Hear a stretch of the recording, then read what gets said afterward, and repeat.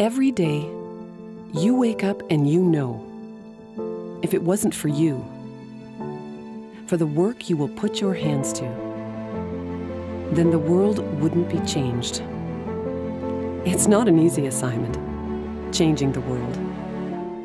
You've made great sacrifices to get here. You've felt the pain of defeat, been told it's impossible, and yet you find a way. You always find a way. Because today is the day that you change the world. For him, for her, for them, but mostly for you.